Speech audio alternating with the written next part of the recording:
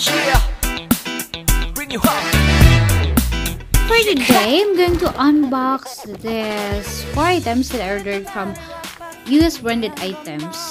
So, Don Bell is in the US and their house is in Pampanga. So, yun pang naka-address. Kasi si Cargo po ang mga to. And tsaka nila dinidistribute dito sa Pinas.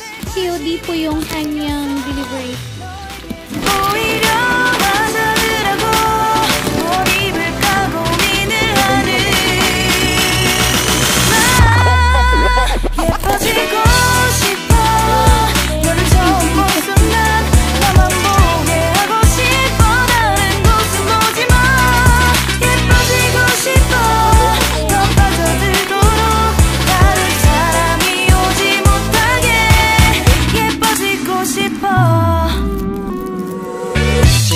나보고 변했다고 말을 하면 나를 비웃고 근데 나도 내가 변할 줄은 몰랐어 너 때문에 내가 변할 줄은 몰랐어 어, 예뻐져라 예뻐져 너만 내게 빠져들 수 있게 예뻐져 예뻐져 Salamat sa ating mga sponsor. Joke lang!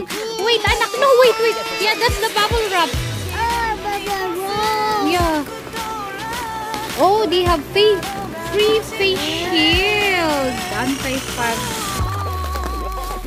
So it was carefully packed. These are these are the shades. I'm not going to reveal kung magkano ang mga ito. Basta yan. These are my These are the bags. I did not even wash her. Lagay sa ganitong bubble wrap na lalaki. And yung bags dito. Mga authentic bags dito.